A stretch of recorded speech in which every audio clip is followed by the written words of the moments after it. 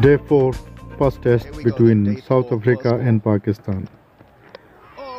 What a delivery. Kept low and the fifth wicket is gone. Perfect start for Pakistan. Problem for South Africa. Wow, Gone. what a catch. What a bowling by Yasir Shah. Picked up a beauty at short He is He's back in a rhythm. Test match catching the ball. Good bowling, great bowling. Wow, Big drive and well, it's taken at leg slip. Noman Ali. Oh, Bolden. matter because he's Great delivery by. Noman Ali.